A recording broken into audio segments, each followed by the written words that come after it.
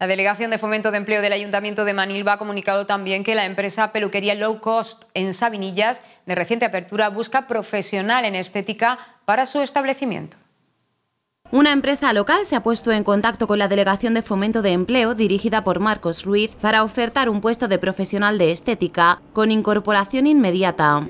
Este nuevo establecimiento ubicado en Sabinillas, de la franquicia de peluquerías Low Cost, necesita dicho personal para completar su plantilla.